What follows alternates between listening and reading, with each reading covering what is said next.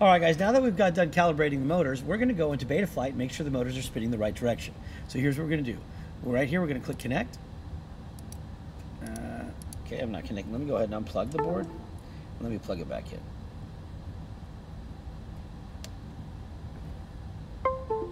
Now let's click connect. There we go.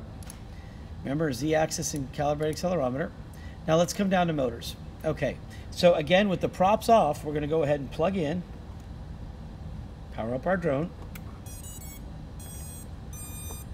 And what we're gonna do here is we're gonna come back and click this arm switch on, and we're gonna look at these sliders right here, and we're gonna make sure that we move very slowly so we can verify the direction. So remember, motor number one, which is right over here, needs to be spinning, turning to the right. So I'm gonna go ahead and turn that up slowly and I can touch the motor and it's not a problem at all and it is spinning to the right. So motor one is good. Motor two needs to spin to the left. And it is. Perfect.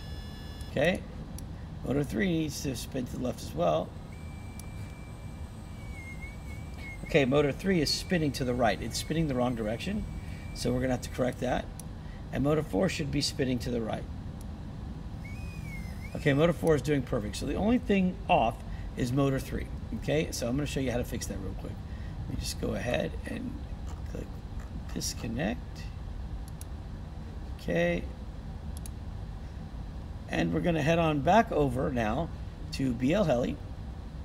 Let's open that up. Our drones are still plugged in so we can access BL Heli. And we're going to click read setup. Maybe I need to disconnect my. One second.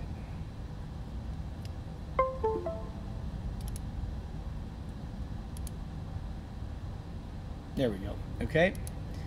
And we know that motor 3 is spinning the wrong direction. So what we're going to do is we're going to come over here and we're going to write click on motor 3 to where it's isolated. And you see right here where it says motor direction? We're going to click it in the middle and it's going to go reversed. All right? And we are going to click uh, right setup. Perfect. Then we're going to click disconnect. And that's all there is to it. Now, we'll go back to Betaflight. Go to motors. Activate the motors. And spin motor 3. And now motor 3 spins to the left. Excellent. So all the motors, now if I want to just check them all slowly, turn them on right, right, left, left. It's perfect. And that's what we wanted to do.